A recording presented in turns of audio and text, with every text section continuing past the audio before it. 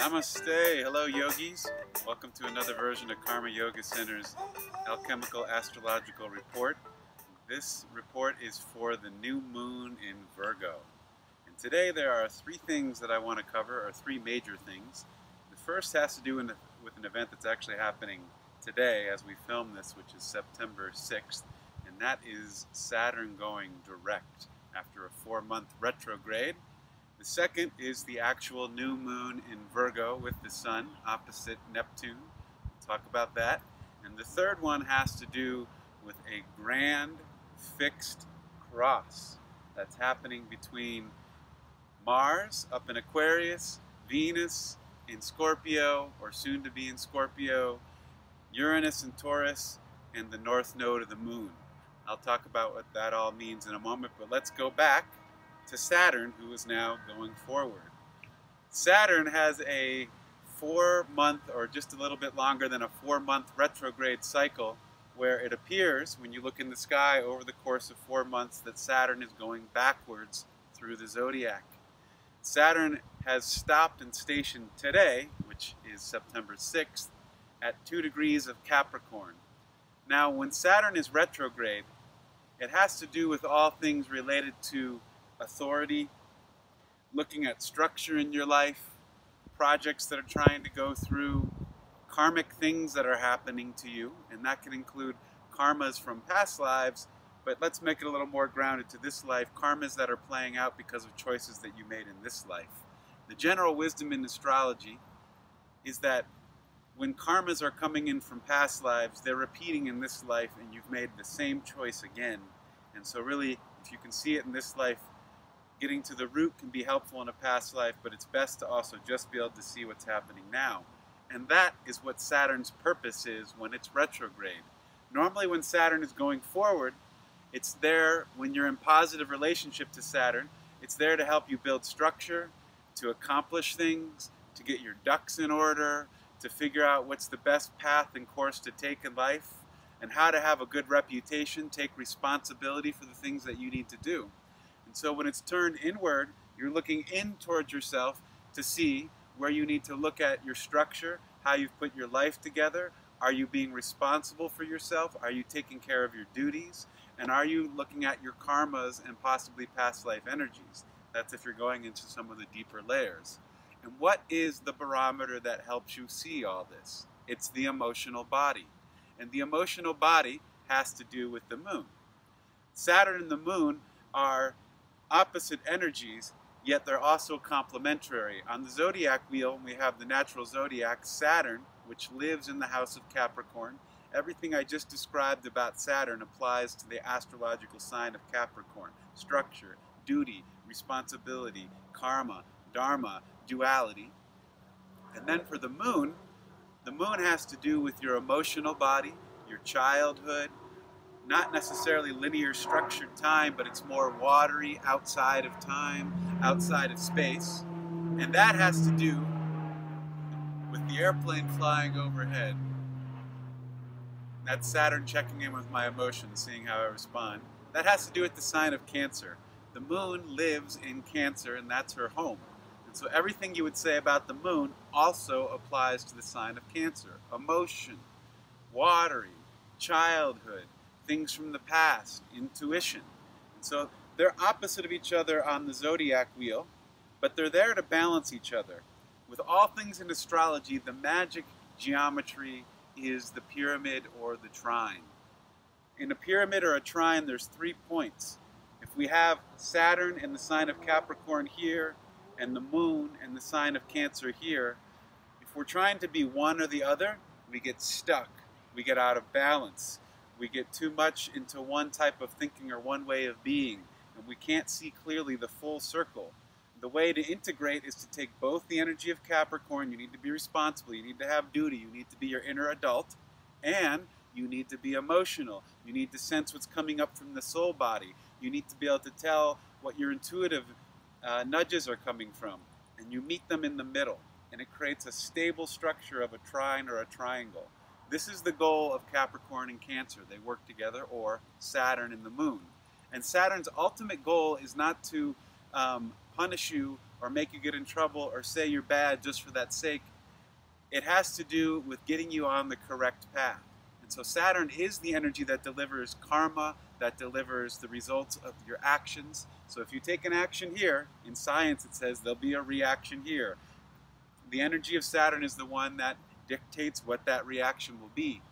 Now, we want to take it deeper to the spiritual level. The reaction or the energy is there to try and get you back on your course. When you're off course, you need a karmic correction. You're either doing too much or too little of something. And what helps you to get that sense if you're doing too much or too little of it is your emotions. You get these little nudges of uneasiness, anxiety, maybe sadness or grief or depression about something. And those are indicators or the weather of your soul saying you're out of balance. So Saturn is now going direct. And so this can be like the time of, in Monopoly, pass go and collect $200, or it can be a little karmic spanking. It's also a time where things start to happen. We just got through a whole summer of retrograde activity. Seven planets, including Saturn, were retrograde totally by the end of the summer, and we had three eclipses. This is all inward energy. Eclipse is inward. Retrograde is inward. We had Mercury retrograde. We had Mars retrograde. Saturn, Uranus, um, Pluto, Chiron. Can't remember the last one, but you get it. There's seven of them. And so now that we now have Mercury and Saturn in forward motion, it's like whatever the restrictor has been on something, or what's been holding something back, the obstacle's been lifted, the gate's been open, the window has been pulled up, and energy can now flow. This doesn't always mean necessarily that it's going to be an easy flow. Sometimes someone's been holding back, waiting to say something, and now the words come out direct. And it just so happens that both Saturn and Mercury, which were retrograde, are trining each other in a harmonious aspect. Saturn is in Capricorn, and Mercury just entered into Virgo. And um, Mercury, which is the planet of communication, as I stutter my words, is at very at home in Virgo. It lives in Virgo. It's very precise in Virgo, very directed. It's like becoming the surgeon or the master sculptor when it's in Virgo. Its words are very like the arrow coming through. And so Saturn has now lifted the restrictions. Mercury in communication can flow, and things that probably need to be said, truths that need to be revealed, because Capricorn wants to know the deep truth of things, are coming out. This can be a little contentious. It can also be revelatory and discovering new things. But ultimately, the goal of Saturn and Mercury here is to get everyone back on the path so that each one of you can fulfill your greatest good. This Saturn direct will be happening all the way through the end of the year, and I think it will be also happening on a global scale. Saturn and the sign of Capricorn rules government, politics, laws, the interaction between countries. And so if there's been a stagnation over the summer or tension or possible bridge building, this is the time where things could happen beneficially or controversial between different countries. So with that backdrop of Saturn, we have the new moon. This is the last new moon of the summer. The new moon always sets the tenor or the energy for the next 28 and a half days or the next month basically. And this new moon sign is in Virgo. Whenever the moon is new, it means it is hanging out directly with the sun. The sun and moon are together, and the sun is behind the moon, so you can't see the moon being uh, reflected back with the sunlight, so it's dark. We have dark skies. When the sun's rising in the morning in the east, the moon's rising with the sun. When the sun's setting in the west at night, the moon's setting with the sun. What does it mean to have the sun and moon together, particularly in the sign of Virgo?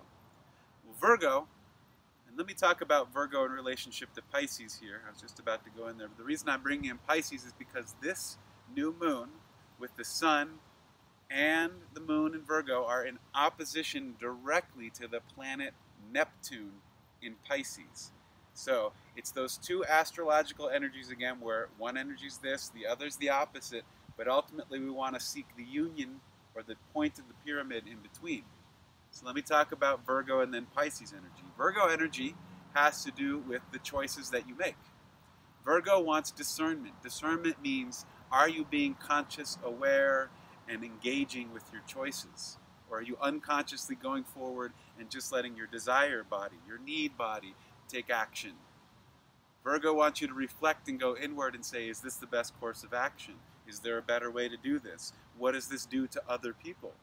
Virgo also wants to know what's the service of the action. Virgo is service oriented when it's balanced. When it's unbalanced, it can be very egotistical. Another aspect of Virgo is integration. Virgo is one of the signs of the zodiac that has to do with mastering things. The, all the signs that come before Virgo, Aries through Leo, have to do with self development, being aware of the self, learning what you do and put out in the world, discovering what your emotions are, learning how to communicate. And Virgo says take all of those and refine them into something that is of use, not just of to you, but that's of use to others, that is of service to others, that can help others, that can progress our planet, that can bring love here, that can ground something. Virgo is the sign of the Virgin, the one who is connected to Mother Nature and grounding. But we don't mean virgin in the same way that we use in our modern culture for somebody who's lost their virginity. The more ancient word for the Virgo virgin access has to do with choice. In the ancient times, the virgin was either man or woman, and he, she was the one who was consciously aware of how they chose things, including their sexuality, including their words, including their actions, including their thoughts. And so, someone who is a virgin in the ancient terms is a powerful priestess or a priest. And to get to the deeper part of it, what does a priest or a priestess do? They're a healer. They're there to help heal things. They're help, there to help make things integrate and become whole again. And that's where the sign Pisces comes in. Pisces is the whole. It's everything. It's everything and nothing. It's outside of time, it's outside of space, and yet it encompasses it all. It's the great womb. It's where you came from before you were born and where you'll return to after you die and drop your body. Pisces is ultimate love. Pisces also has to do with service. And Pisces is taking all that energy of the everything and taking it down to Virgo to something specific. And Virgo has to communicate back to Pisces, to Spirit, to say, is this integrating to the whole? It's communication back and forth. And so we have the Sun and the Moon in Virgo. The Sun represents your heart energy, who I am, ah, how you act in the world. The Moon has to do with how you feel and what your inner landscape's like. What is your intuition? How do you feel nurtured? How do you want to nurture others? How do you want to nurture Mother Earth? And Neptune in Pisces, the positive way that Neptune can show up is Neptune is your spiritual path, your spiritual development, your spiritual connection to the all. So you have spirit, God, connection to that oneness and source, and you have service, health, and refinement down here.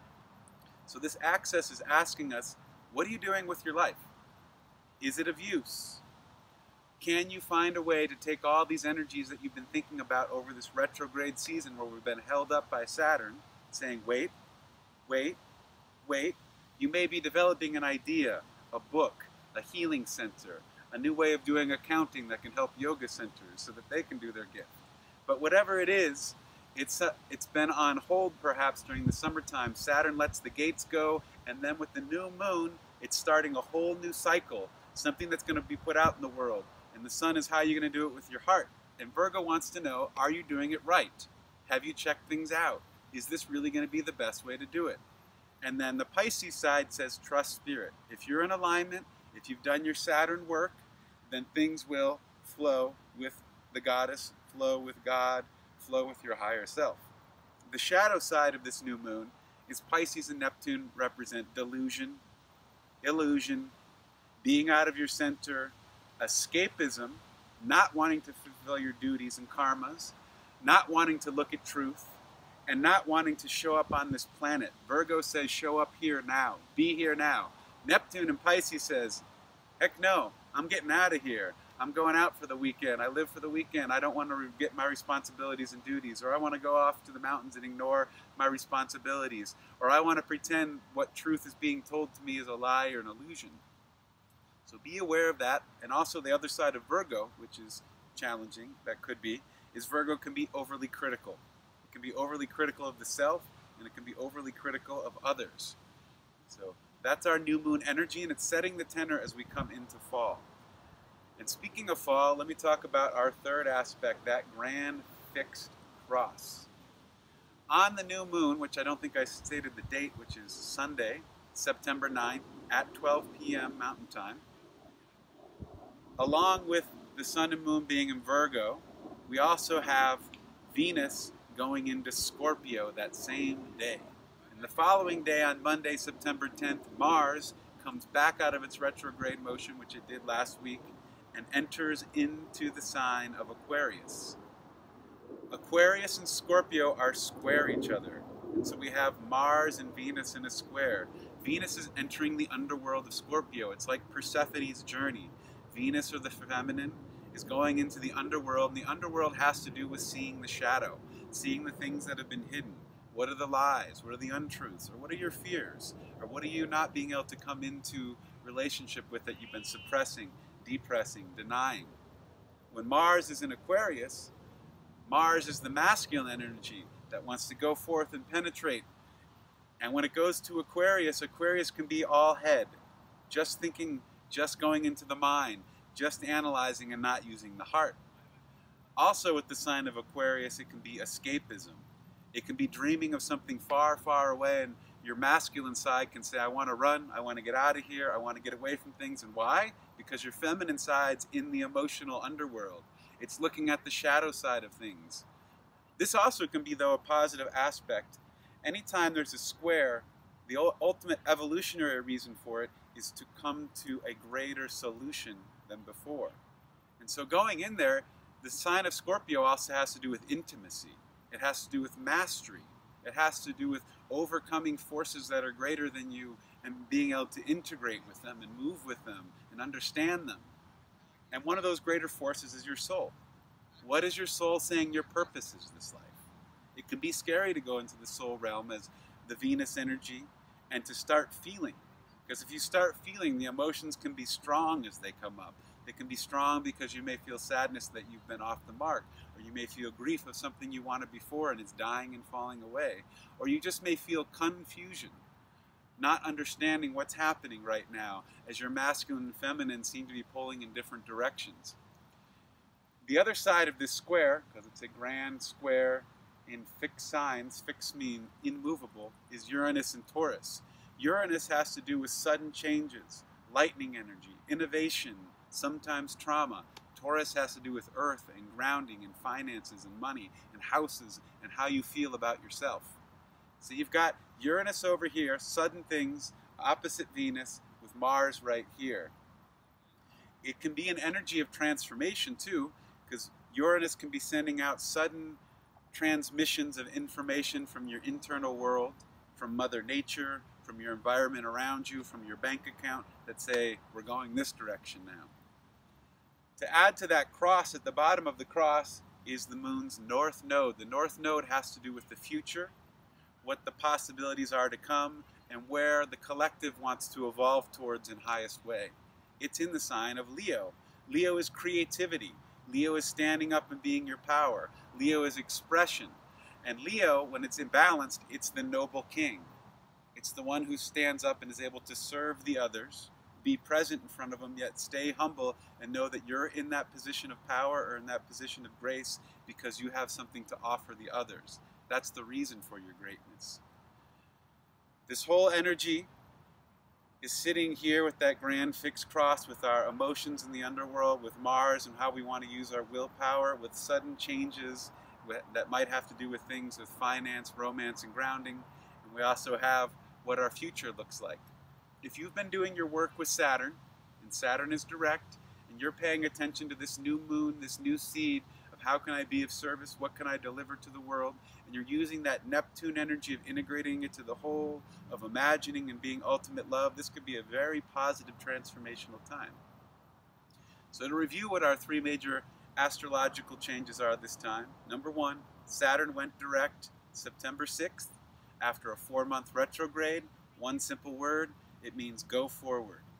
Number two, we got our new moon and sun in Virgo opposite of Neptune and Pisces. It's integrating that Neptune Pisces energy, refining something, how am I of service, health and healing, and opposite of how does it go to the whole for ultimate love. And finally, our grand fixed cross. Venus and Scorpio, what are my emotions? How am I going into the underworld for transformation? What do I need to master in my life so that I can fulfill my life's purpose? How do I use my willpower, my Mars, to do that? What's my Uranus my innovation, my genius, or sudden changes that can direct me that way. And lastly, the North Node in Leo, what's the direction we all want to go together for healing? Well, that's all for our astrological report today. Katrina will be back in two weeks with the full moon. So good to see you all. Namaste.